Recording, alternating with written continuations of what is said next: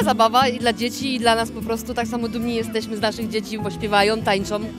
Także fajna sprawa. Jest fajnie rodzinnie, jest super zabawa. Bardzo fajne, dla dzieci przede wszystkim. Dobrze, że coś się dzieje. Bardzo fajnie jest, idziemy akurat przejść dookoła, bo dopiero przyszliśmy, także zobaczymy, porozglądamy się jeszcze, co tutaj możemy fajnego znaleźć. Myślę, że będą alpaki, więc jak najbardziej się dzieci będą cieszyły.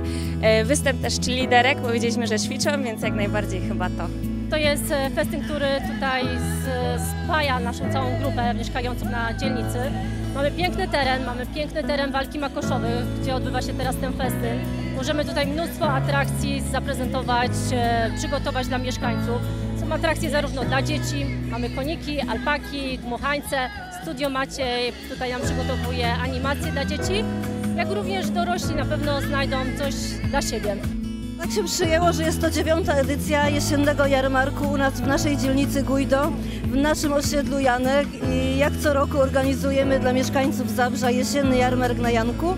Cieszy się ogromnym zainteresowaniem. Ja myślę, że to już jest taka tradycja i w ogóle nasza dzielnica, tak? Ma tak, taką, taką specyficzną atmosferę, tak? Jest taki klimat, gdzie wszyscy się spotykamy, jest dużo dzieci, są atrakcje, jest bardzo dużo konkursów. Także dzieje się bardzo dużo na jesiennym jarmarku.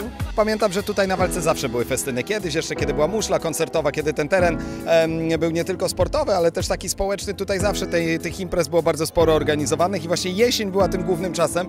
My jako Rada Dzielnicy bardzo staramy się, żeby dać lokalnej społeczności, mieszkańcom Janku, Dzierżona, Rymera, całej naszej dzielnicy trochę radości. To jest okazja do spotkania się ze znajomymi, z mieszkańcami, do integracji, do posłuchania muzyki, do fajnej po prostu zabawy. Za naszą zachodnią granicą w Niemczech takie Volksfestiny, takie, takie ludowe festyny, to jest część kultury i tutaj na Śląsku też zawsze takie festyny e, funkcjonowały i fantastyczne jest to, że mieszkańcy chcą wyjść na zewnątrz, chcą spotkać się ze sobą, spędzić wspólnie czas, a my jako Rada Dzielnicy Gujdo jesteśmy bardzo dumni, e, że możemy dla mieszkańców coś takiego zorganizować. Dzięki właśnie takim inicjatywom rad dzielnic możemy tu się spotykać i z mieszkańcami rozmawiać o różnych ich pomysłach, problemach, sugestiach, ale również mieszkańcy potrzebują tej integracji między sobą, między sąsiadami i między wszystkimi, którzy tutaj żyją w danej dzielnicy.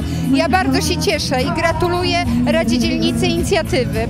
Dziękuję za włożoną pracę, bo przygotowanie każdego takiego wydarzenia to jest ogrom pracy. Piękny ośrodek, piękne miejsce, piękne pomysły, no i oczywiście to, co obserwujemy, ludzie doskonale się bawią. Właśnie o to chodzi, żeby stworzyć przestrzeń do pracy, ale też do zabawy. Bardzo się cieszę, że Zabrze potrafi się bawić, czy seniorzy, czy mieszkańcy naszych dzielnic. Mamy 21 dzielnic i proszę mi wierzyć, co jedna dzielnica to inne pomysły. Gratuluję serdecznie i życzę wszystkim dobrej zabawy.